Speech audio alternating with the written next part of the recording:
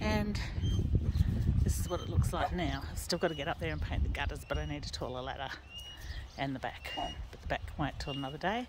Doesn't that look better?